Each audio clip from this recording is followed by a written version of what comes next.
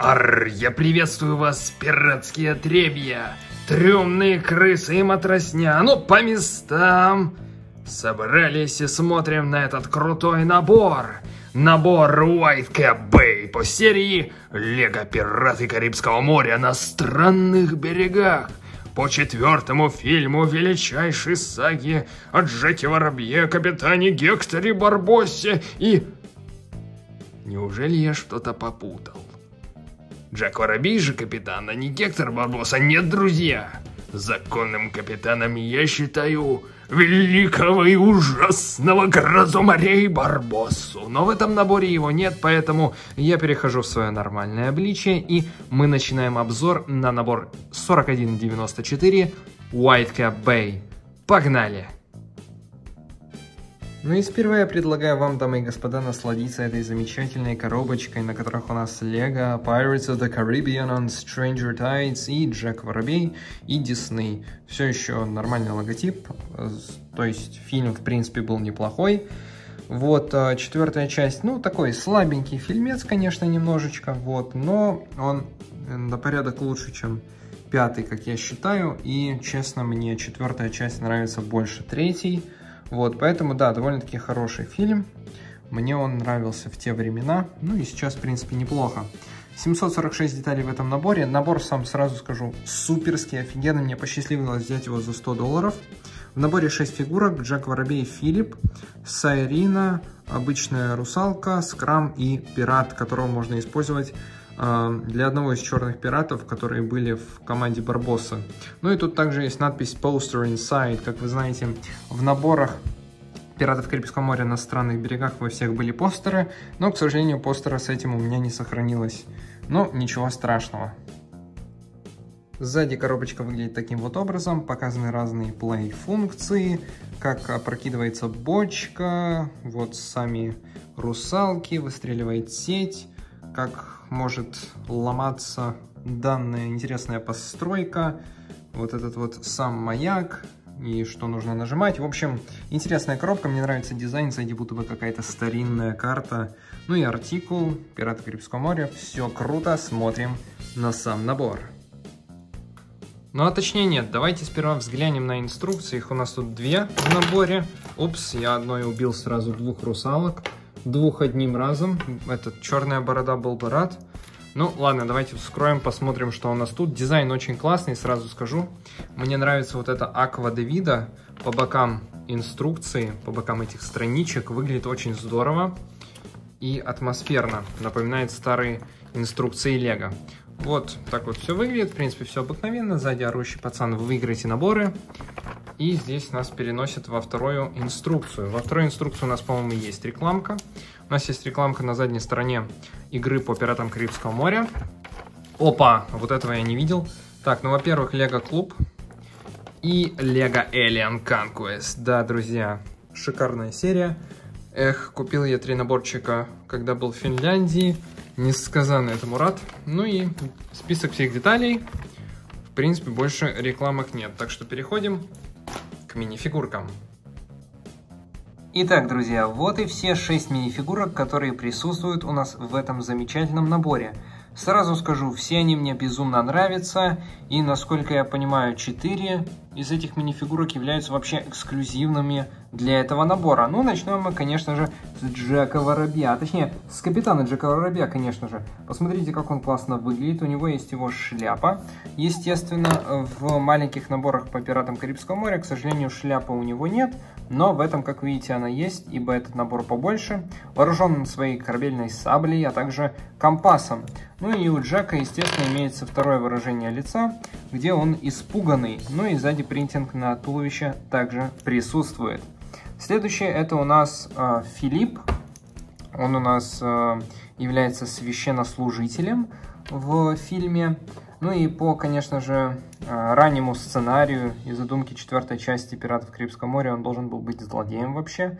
Вот таким вот довольно-таки жестким, интересным персонажем. Ну, получился такой священник с такой полудраматичной, не знаю, историей. И забавный факт. У него нету, видите, на груди креста, хотя он там у него был в фильме, потому что, ну, он священник, черт побери. К сожалению, Лего не, не сделала эту детализацию, не пропечатала ему крестик, скорее всего, дабы не затрагивать какие-либо религиозные темы. Но это такой забавный факт, друзья.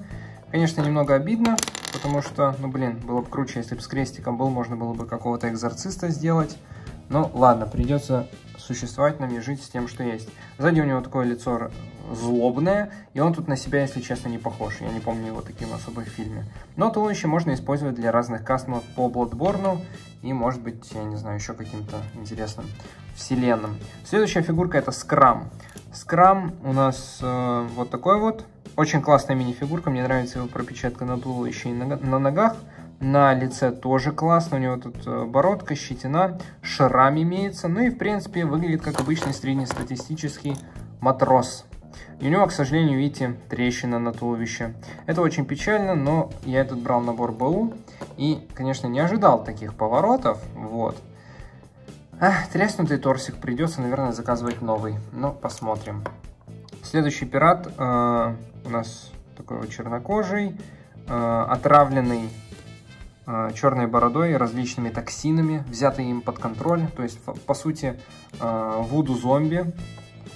А, ну и, в принципе, он довольно-таки нередкий. Он в самом маленьком наборе встречается по пиратам Карибского моря. Он Stranger Tides, который называется The Captain's Cabin. Ну и последние две фигурки являются также эксклюзивными. Вот, и, наверное, самыми интересными из всего этого набора это две русалки. Слева у нас Сайрина или Сайрина, Сайрина, неважно. И справа э, русалка, которая пытается совратить Скрама и утащить его на дно морское и сожрать но ничего у нее, по-моему, там не удается. Вот, это она и Сайрина. У них очень классные пропечатки. Взгляните, у них их чешуйки, ну, типа рыбы, переливаются на свету. У Сайрина имеется такая э, прическа интересная. К сожалению, у меня есть проблемка с Сайриной вот этой. Э, именно из-за этого я ей поставил такое лицо, ну, выражение лица. Вы можете видеть. И сзади, э, вам, наверное, незаметно, нет, вам заметно при определенном свете. Вот, посмотрите, у нее, черт побери, голова треснута. Голова треснута. Ну и сзади пропечатка. Но это, конечно же, нарекание именно на продавца, который мне это все продал. Да, голова у Сайрины сломана, это, конечно, печально. Забавный факт, также у этой русалки имеется двойное лицо, но это, в принципе, логично. Давайте взглянем, что это за лицо такое. Ну и она здесь разъяренная. Также ну и у Сайрины примерно такое же, только не такое злобное, да. Посмотрите на эту ужасную трещину. Эх, что теперь делать? Ладно, фигурки классные, посмотрим же на сам маяк. А вот и сам маяк, дамы и господа, White Cap Bay. Давайте посмотрим, какое старинное сооружение у нас стоит в пенной бухте. Ну, вначале проверим маленькие посудины, которые к ней причаливают. Это две лодочки, две шлюпки. А, если вы помните, в одной из них или даже в двух сидел скрам с его другими матросами. И здесь на задней э, лавочке восседал вот этот пират. Он контролировал, ну, точнее, приказывал им петь, дабы вот эти вот русалки на их пение все, я бы сказал, слетелись, но нет, сплылись, друзья. Вот, и тогда уже началась над ними бы расправа. Такие две лодочки, очень классные шлюпки. У них в обоих имеются ведерки и весла. Ну, в принципе, логично. Неплохое дополнение к набору. А, также есть якорь. Не помню, какую роль он играл в фильме. Скорее всего, ни никакой. Просто является неплохой дополнительной деталькой. Далее идем, э, смотрим спереди. Спереди у нас тут Джек. И сам заход э, в маяк. Забавный факт, здесь дверь современная слишком, вам так не кажется? Да, Nightshop 99 в своем видеообзоре 2000, ну, когда этот набор вышел, в 2011, да, э, говорил то, что да, дверь действительно слишком э, современная, это очень странно, я не знаю почему. Э, слева, слева бочка, даже две бочки, дамы и господа, для чего они? Ну, допустим, есть злая русалка, она пытается кого-то съесть. Ну, для таких э, человекопожирающих титанов у нас есть нет не прибор пространственного маневрирования и леви, у нас есть бочка, которая не раскрылась, как надо было. Ну, на нее, в общем, выпадают вот эти вот ядра. Скорее всего, пушечные, но я не уверен. Функция, ну, такая себе на самом деле, но, в принципе, можно с ней поиграть, я думаю.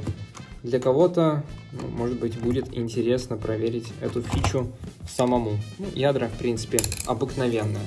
Убираем наших русалок, смотрим на детализацию. Здесь у нас заход, вот такое вот бревно. Это, кстати говоря, наклеечка.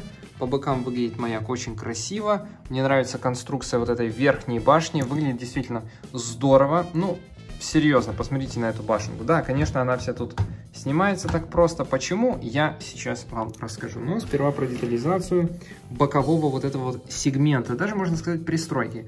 Кстати говоря, еще один э, забавный факт. Здесь все это отсоединяется на таких вот техниковских деталях, дабы вам было либо легче транспортировать данный маяк, либо, как в моем случае, для моего самодельного лего средневекового порта, э, я могу по-разному переставлять данные элементы и будет здорово. Так, сбоку. Сбоку у нас наклеечки, естественно, и сверху маяк, который, кстати говоря, работает. А, сейчас очень светло, поэтому не очень видно, но давайте я выключу освещение, и вам будет заметнее.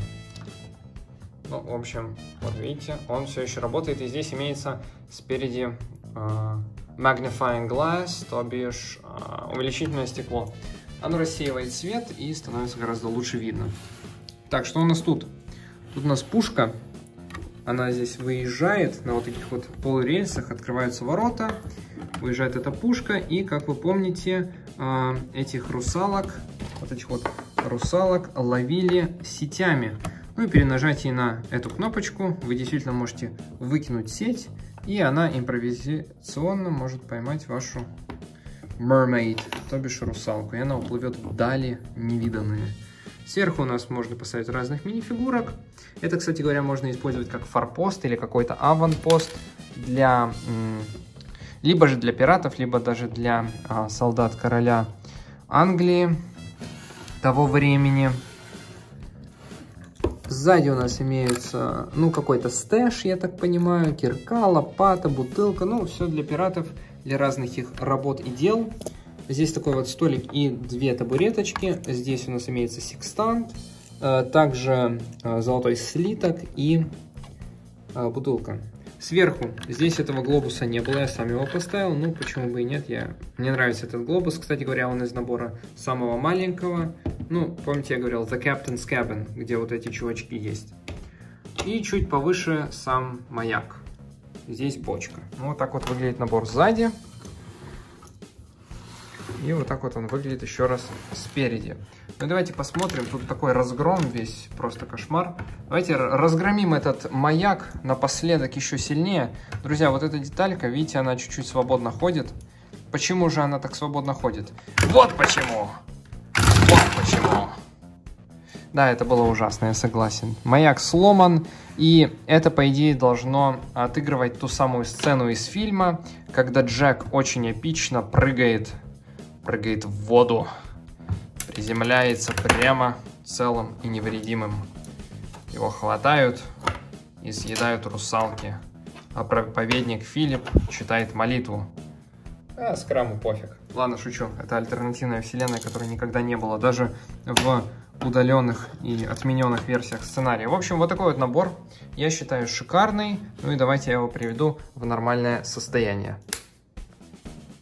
Ну что же, друзья, в финале хотелось бы отметить, что данный набор я считаю по сути идеальным. В нем есть все, что только можно хотеть, чтобы этот набор имел. Это большой классный маяк, который при этом не просто одна башенка и светильник. Имеется рядом пристройка с неплохой пушкой, которая, если вам не очень нравится или она вам не нужна для вот этой сценки с ловлей э, данных замечательных э, русалок, вы можете ее там убрать, реорганизовать и сделать это каким-то небольшим форпостом сборище ваших кладоискателей, ну или же пиратов. Также этот набор можно отлично спокойно использовать для любых самоделок или сценок, связанных с эпохой средневековья и рыцарством, что, конечно же, идет на плюс всем фанатам Lego Castle. Так что, по моему мнению, данный набор является шикарным по всем параметрам. В нем есть уникальные неповторимые лего мини-фигурки, которые можете вы достать только в этом наборе White Cap Bay. Ну и в целом сама постройка, сам дизайн, он, ну, сногсшибателен. Действительно, мне очень нравится это здание. И по всем параметрам этот набор заслуживает высших похвал и оценок. Так что я благодарю вас за внимание. С вами был я, Дмината Спейс. Всем желаю удачи. И ставьте лайки, трюмные крысы. Подписывайтесь на канал, чтобы не пропустить больше классных обзоров. Всем удачи и пока!